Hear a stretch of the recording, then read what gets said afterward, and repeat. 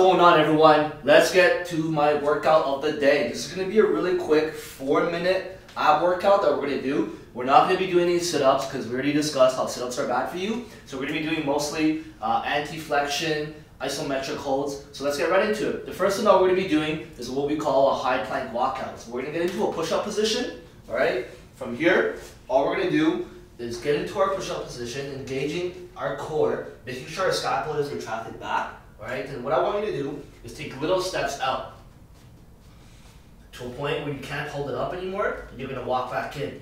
When you're doing this, I want you to really focus on making sure that your glutes are fired, so this is stabilizing your hips. I don't want you to wobble like this, all right? I want you to make sure you're nice and stable. Okay?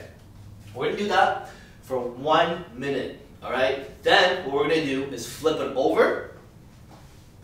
And now we're gonna get into what we call dead bugs. So we're gonna get onto our back, making sure our back is neutral. What we're gonna do is extend one leg with the opposite hand. So if I extend my left leg, you're gonna extend your left right arm.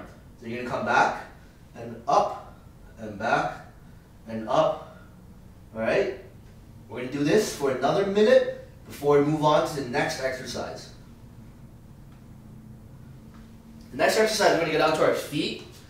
And all we're gonna be doing is a simple one, two, reset with another elbow, all right? So when you throw the strikes, you're gonna make sure you're turning your body all the way, activating your whole abdominal area. So when you throw the one, two, you're gonna go one, two, right? Turning your body as hard as you can, make sure you're pivoting, engaging your core, then you're gonna reset, and then throw the elbow again. When you throw the elbow, it's a similar mechanism as a cross, the only difference is you're hitting with the pointy part of your elbow. So once again, you're gonna come from here, you're gonna go one, two, reset, then elbow.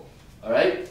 We're gonna repeat that for one minute before we move on to the next exercise. The next exercise that we're gonna be doing is just a simple plank, but what we're gonna do is add a variation by lifting one arm, the other arm, uh, one foot, the other foot. We can actually call it plank around the world, all right? So let's get into our plank position, which means we're gonna get into our hands and elbows. And when you're in this position, I really want you to focus on making sure your back is completely neutral.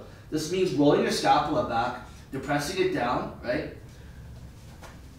This means you're gonna try to imagine your scapula as being turned like this, right? Like this. You're gonna press your scapula down. This is gonna automatically push out your chest. This, then when you fire your glutes and engage your core, what's happening is your back is like a suspension bridge, right? So your core, your glutes, and your back is kind of the, the, the bracing of your bridge of the, of the, the deck of the bridge, right? Um, which is your spine, your vertebrae. And you want to engage everything so it's very, very uh, activated to stabilize your vertebrae. So this is what we're doing right now. So you want to activate on both sides of your vertebrae to make sure that it's secure in place.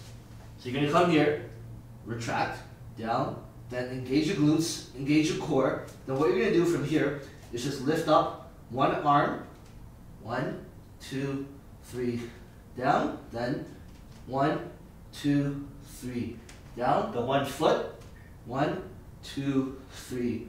Down, another foot. One, two, three. Down. Good. You're to do that for one minute after those other three exercises, and that's to be your four minute ab workout. Now, if you want to challenge yourself, what you can actually do is group um, four of these, these four exercises, into um, three four minute sets. So you can take like a minute break in between the whole workout is to take you uh, 15 minutes to do, right? 4, 4, 12, no, four, uh, 14 minutes to do. So um, I hope you enjoyed it.